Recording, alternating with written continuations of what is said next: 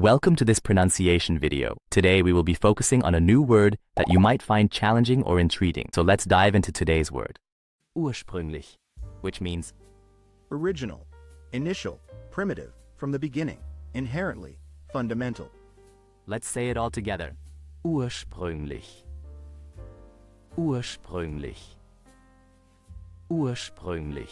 One more time. Ursprünglich. Ursprünglich. Ursprünglich. Thank you for joining us on this adventure in pronunciation. Remember, language is a journey, not a destination. Keep exploring, experimenting, and expanding your linguistic horizons. We'll see you next time.